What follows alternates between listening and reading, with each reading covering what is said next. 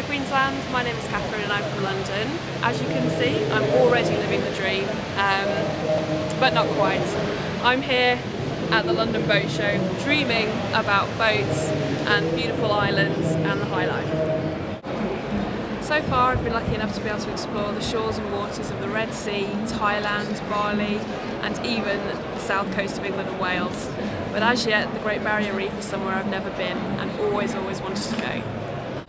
I think I'd be a great caretaker for your island because that's basically what I do.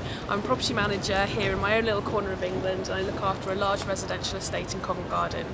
However, I would gladly swap that and change my demanding tenants for white tip reef sharks and hammerheads and my leaking roofs for lapping shores. London is a great place to live, but whenever I can I escape to the coast. I got my PADI open water last year.